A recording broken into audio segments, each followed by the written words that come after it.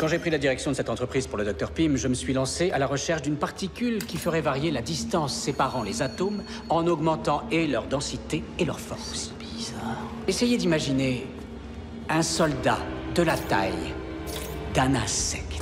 Darren Cross sèmera la terreur et la désolation partout dans le monde. Qu'est-ce que vous attendez de moi? Sauver le monde, par exemple.